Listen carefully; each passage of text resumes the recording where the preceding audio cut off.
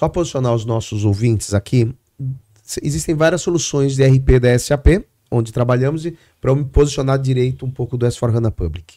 Então, se você pegar na, na, na pirâmide de, de RPs da SAP, eu vou só citar três, tá? Se vocês é, permitirem. São os três. Tem o Business One, que fica na base da pirâmide, pequenas e médias empresas, divisões de grandes corporações, em determinadas situações, e, enfim, até, a gente tem um mercado enorme aqui. Você tem para as médias empresas também divisões de grandes corporações ou multinacionais que estão em rápida expansão. Você tem a Sorhana Public Cloud, Public Edition, que a gente está aqui, vai falar sobre ele, que a RAM hoje vende e implanta com uma energia incrível, dedicação total. E se tem uma versão um, que, a gente, que, que, a SAP chama de SAP um, for, S4, Private, Private Edition, que permite um, você ter o seu próprio ambiente de nuvem, seu próprio ambiente para acessar seu banco de dados, com algumas questões diferentes que atendem a empresa muito maior que tem eventualmente muita necessidade de personalização. Que, na verdade, é uma das grandes, talvez, inovações do mundo atual, é, em vez do Ask Mode, é Tell Mode. Em vez de perguntar, é orientar. As pessoas querem hoje em dia coisas mais simples. A gente vive um mundo tão dramaticamente rápido, né? Tantas coisas acontecendo.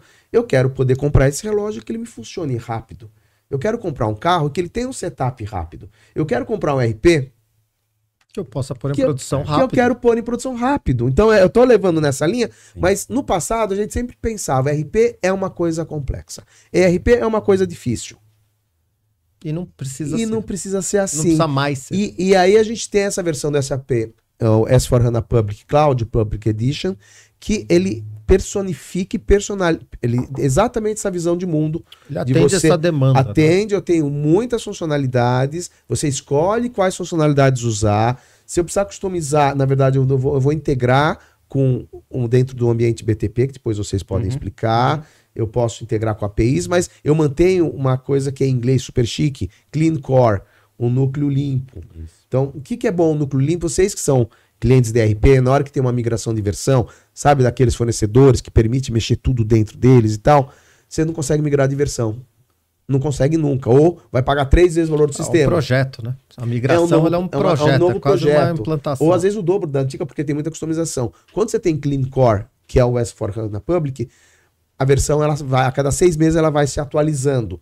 E você precisa só olhar as suas integrações com outros mundos e você consegue ter uma versão, uma visão mais simples da vida.